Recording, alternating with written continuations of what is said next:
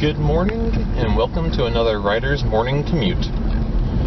This will be my third and last episode on Netflix's Death Note adaptation. So, last two days I discussed some of the things I liked about this movie. A short list of things that I disliked about the movie uh, from a writing standpoint. And now I'm going to take a chance. The movie was just so, so underwhelming. So I'm sorry if I'm uh, laughing too much. It was just ridiculous in how not as good as the source material it was is. So what can we learn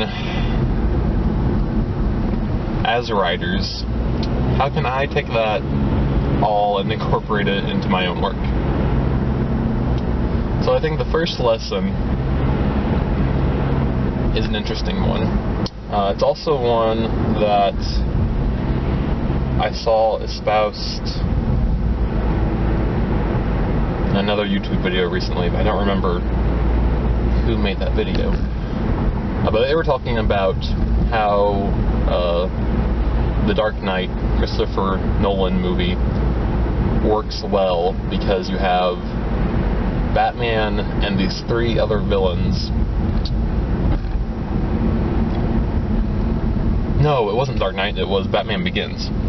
Uh, how they had Batman and these three other villains making up kind of this square of uh, beliefs, I guess. Uh, where you had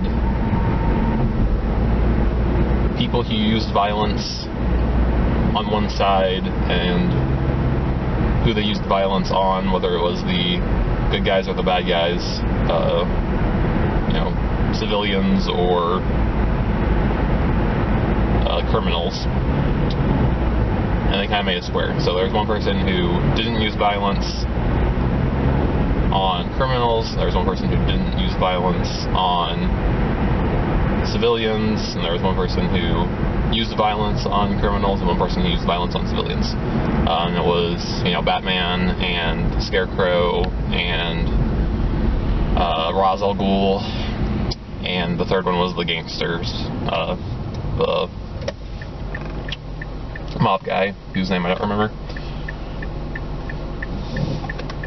So similar to that, I feel like Death Note had the original Death Note had Light and L in this cat and mouse game.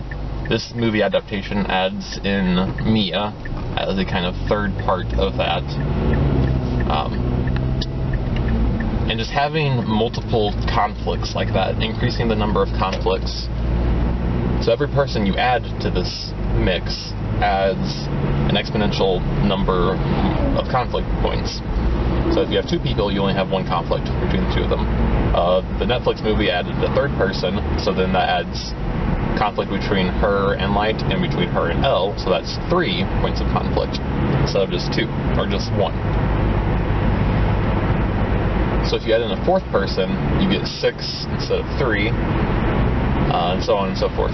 Uh, obviously, it would become a come a point where it was too much, um, or where you couldn't actually explore all those intersections.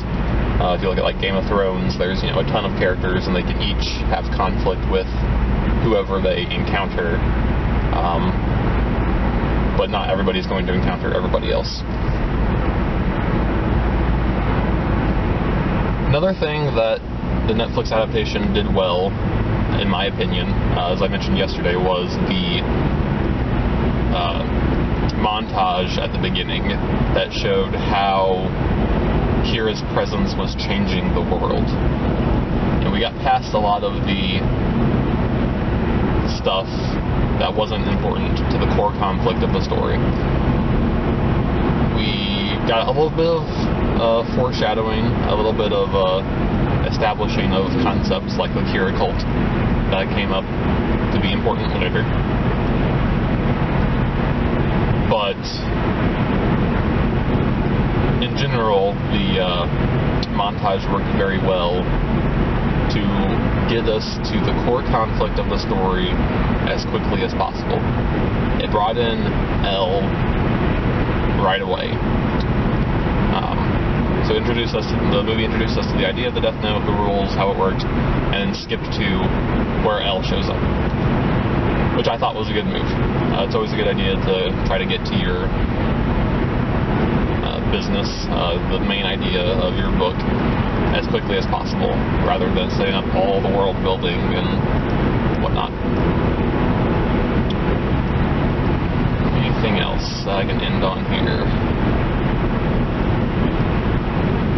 I guess the last thing is to consider what consider different changes.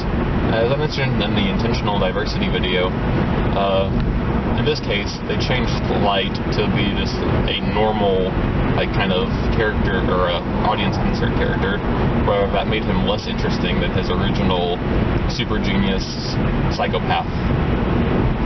Um, so consider what changes you can make to your cast to make your story the most interesting, whether that's race, class, gender, um, intellectual level. You know, just try to make your story as best you can. On that note, thank you very much for hanging out with me these last three days. Uh, I appreciate it. Have a great day.